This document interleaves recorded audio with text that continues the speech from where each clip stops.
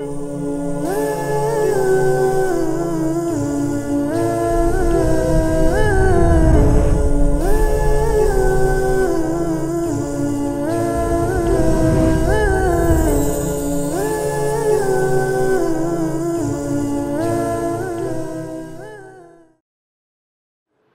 عليكم ورحمة الله وبركاته.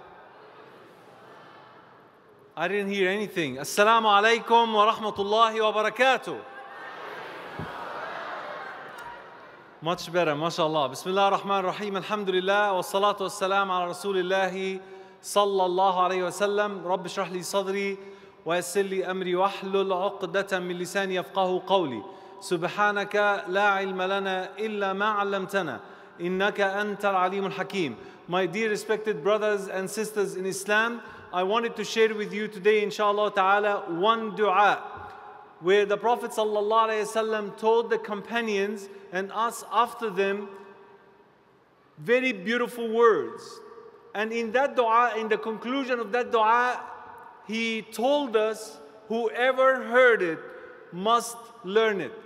So if you never heard about that dua before this night, your homework, your job is to memorize it inshallah ta'ala, grab it from the internet, make it your homework inshallah ta'ala. Is that a promise? I can't hear anything. Birmingham, is that a promise? Allahu Akbar, inshallah ta'ala. In that dua, my brothers and sisters, the Prophet ﷺ made a promise. In that dua, the Prophet ﷺ made a promise that anyone recites it will not feel depressed or anxious or sad anymore. That doesn't mean that you not experience the sadness, rather, you'll be able to cope with those emotions better.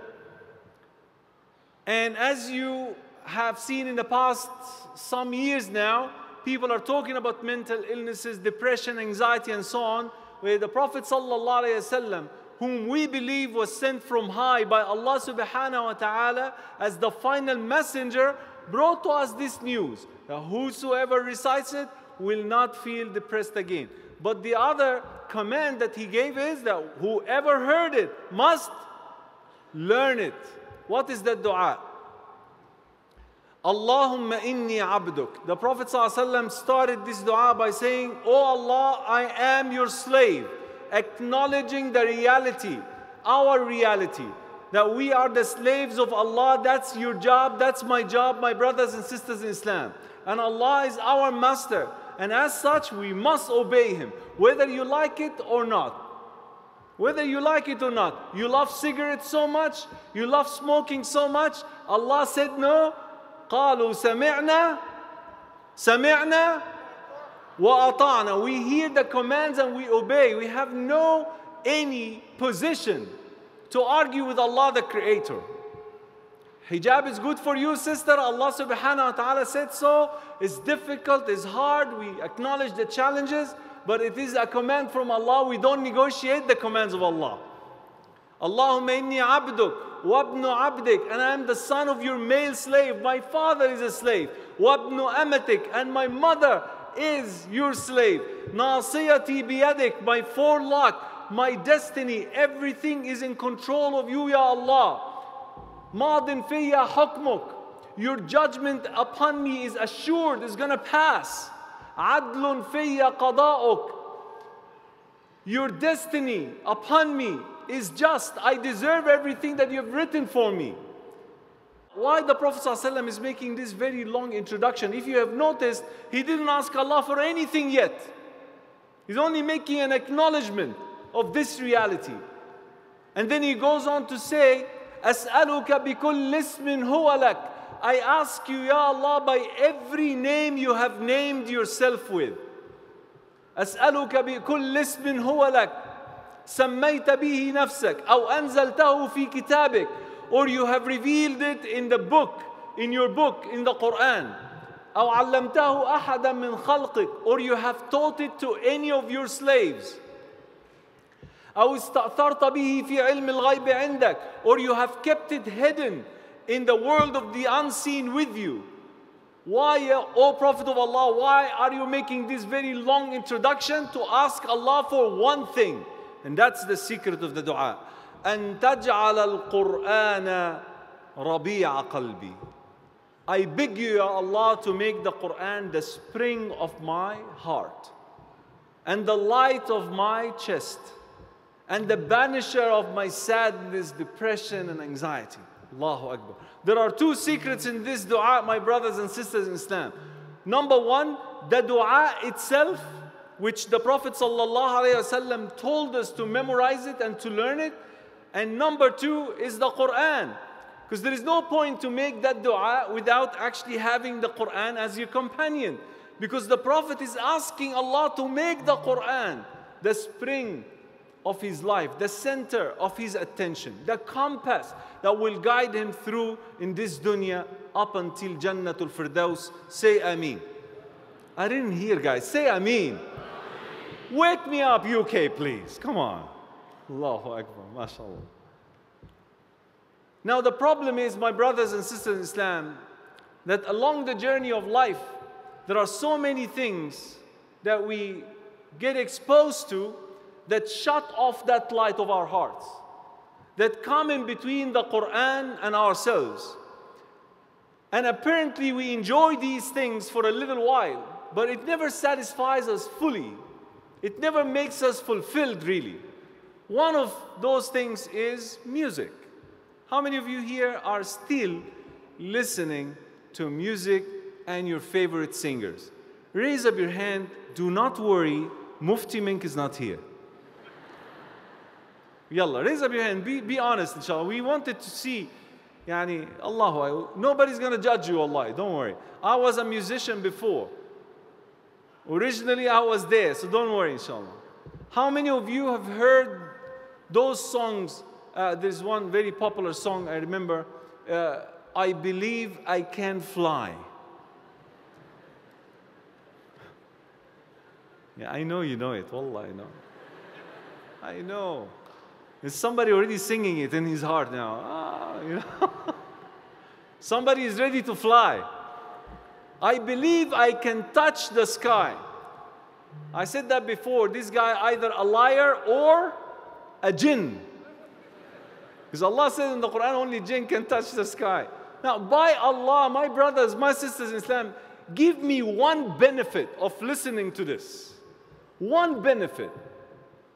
Tell me what will you actually benefit from when listening to this other than just wasting your life away?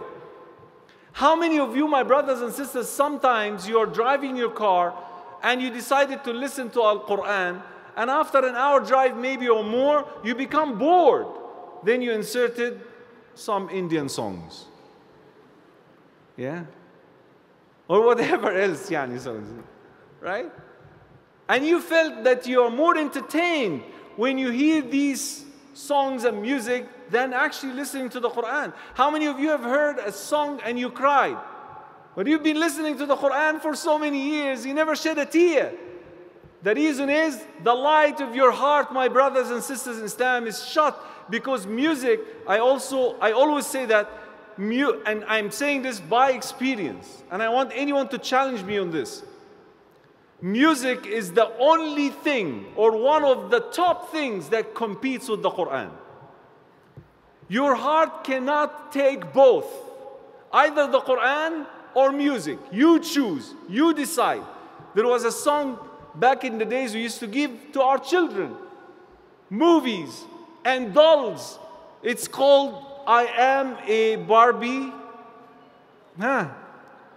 I'm a. I, and I don't want to say it because it would appear as if I'm declaring billah. I'm a Barbie girl in a Barbie world. Life is what? Tell me. Huh? Tell me. Life is a, a plastic or something, or fantastic, something like that. And then the worst part in that song, you can brush my hair, undress me everywhere. Inna lillahi wa inna ilayhi raji'un. We used to.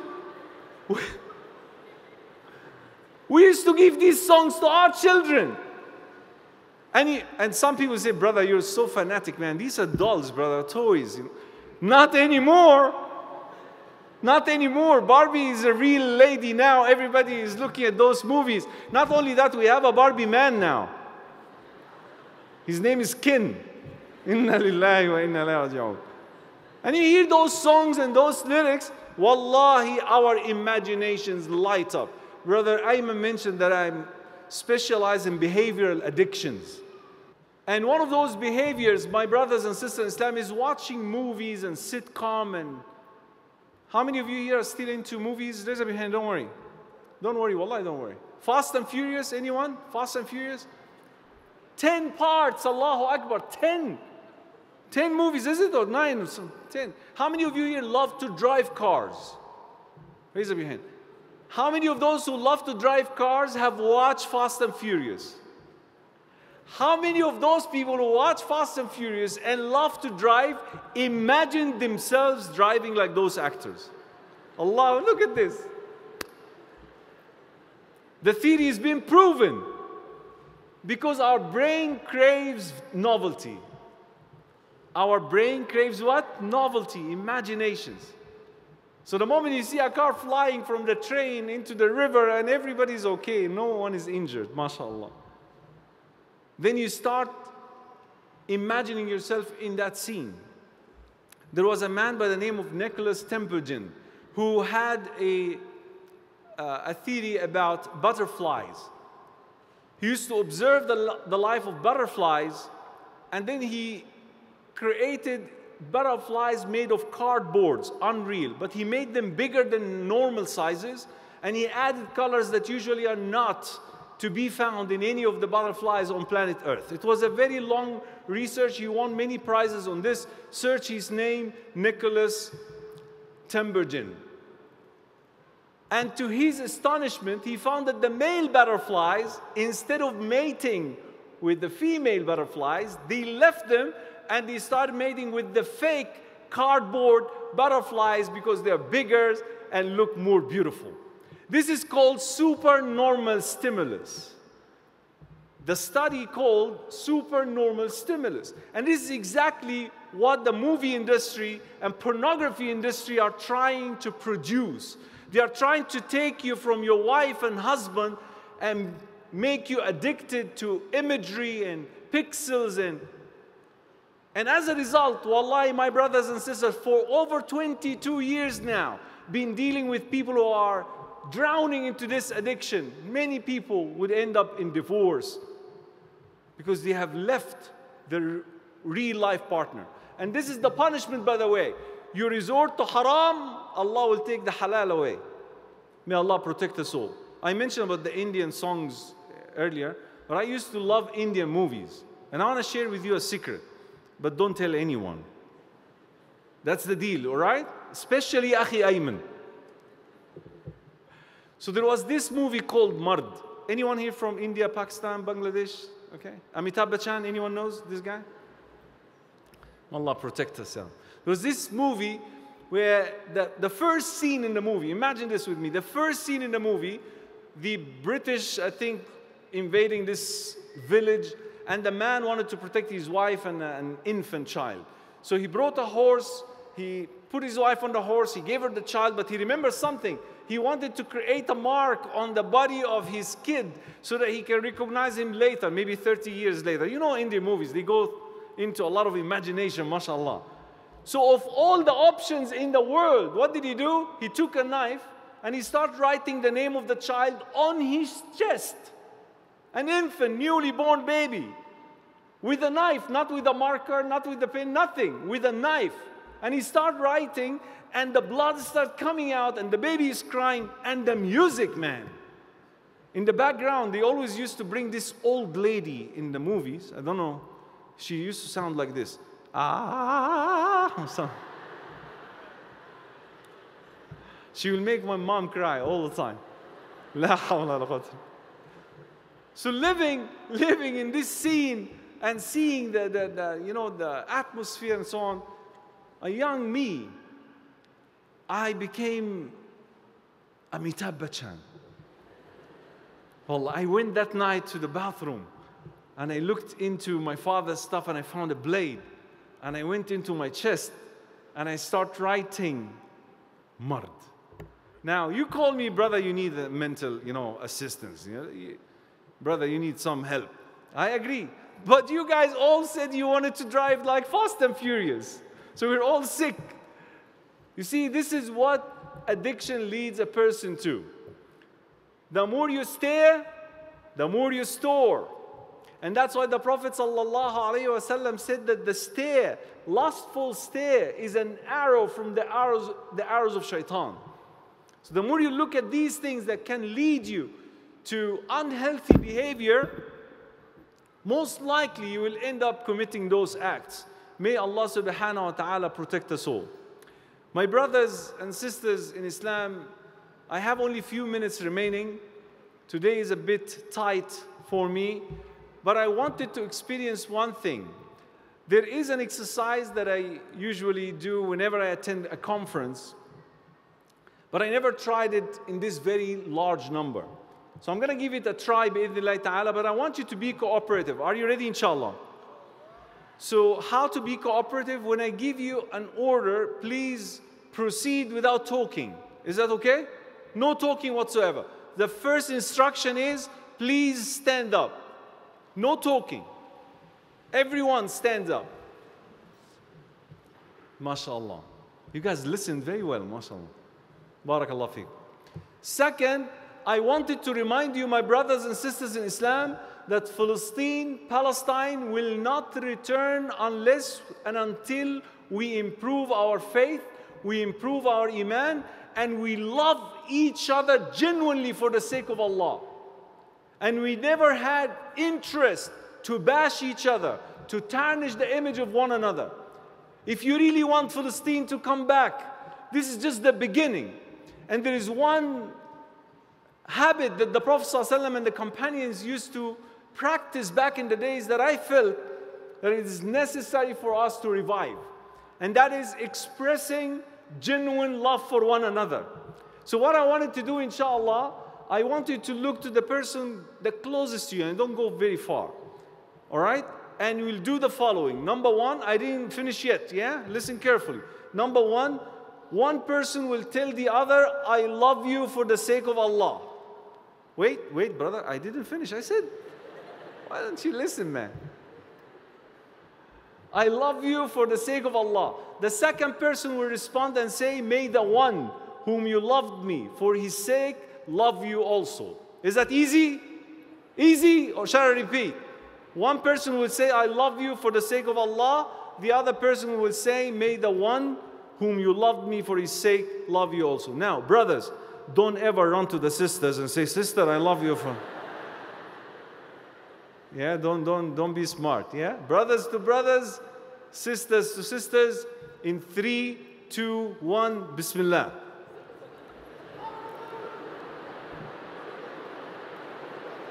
MashaAllah.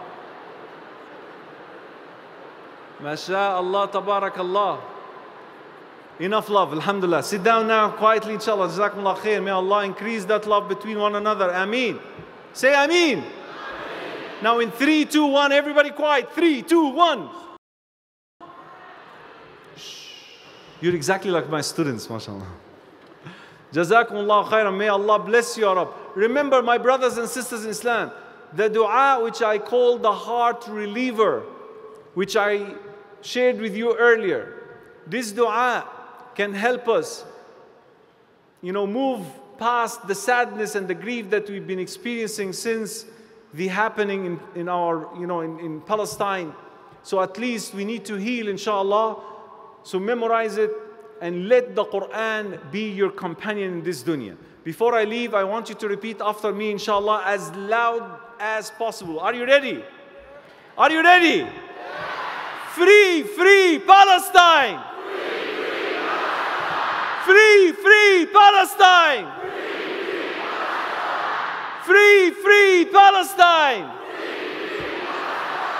Jazakumullah khairan, my brothers, my sisters in Islam. It was lovely being with you here in Birmingham. Inshallah, looking forward to seeing you again, bi'idhnillah. Don't forget, make dua for our brothers and sisters in Gaza. May Allah subhanahu wa ta'ala have mercy upon the martyrs. May Allah subhanahu wa ta'ala heal their wounds. May Allah grant them patience and perseverance. And may Allah return Al Masjid Al Aqsa to the hands of the Muslims and the Arabs. Ameen ya Rabbil Alameen.